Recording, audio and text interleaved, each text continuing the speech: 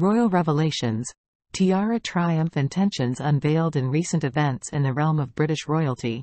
Recent revelations have illuminated both the opulence of tiaras and the underlying tensions within the monarchy. Here's a breakdown of the latest royal developments. Tiara triumph for Kate Middleton. Kate Middleton, the Princess of Wales, made a stunning statement at the state banquet honoring South Korea's president and first lady. Wearing the Strathmore Rose tiara, a diamond-studded piece not seen in public for nearly a century, she channeled the legacy of the Queen Mother. The tiara, featuring a vine-like design with five diamond flowers, added a touch of regality to the evening.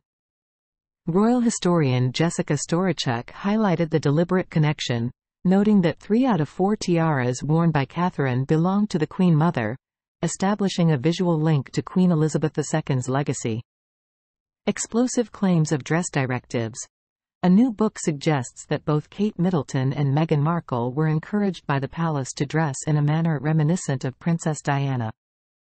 The late princess's iconic style supposedly served as inspiration for the two duchesses, raising questions about the influence of royal directives on their fashion choices. Prince Harry's ultimatum.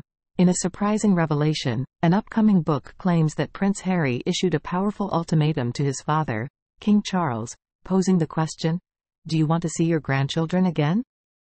The reported statement hints at underlying tensions within the royal family, adding a layer of complexity to the dynamics between father and son. Tensions between duchesses. Further details emerge from an explosive new book, suggesting that Kate Middleton experiences discomfort at the mere mention of Meghan Markle's name. The alleged tension between the duchesses, which has long been a subject of speculation, takes center stage in the latest narrative about the intricacies of royal relationships. Queen Camilla's tiara debut. In parallel to Kate Middleton's tiara triumph, Queen Camilla made a memorable tiara debut at the state banquet. Wearing Queen Elizabeth's Burmese ruby tiara and accompanying jewels for the first time, the 76-year-old monarch added a touch of grandeur to the occasion, showcasing the regal splendor associated with the British monarchy. Symbolic fashion choices. Both the Princess of Wales and Queen Camilla made symbolic fashion choices during the South Korean state visit. Kate Middleton opted for a red Jenny Packham gown with a velvet base, while Queen Camilla chose a red velvet gown, aligning their attire with the colors of the South Korean flag. As these revelations unfold, the British monarchy continues to navigate a delicate balance between tradition and the evolving dynamics of the royal family.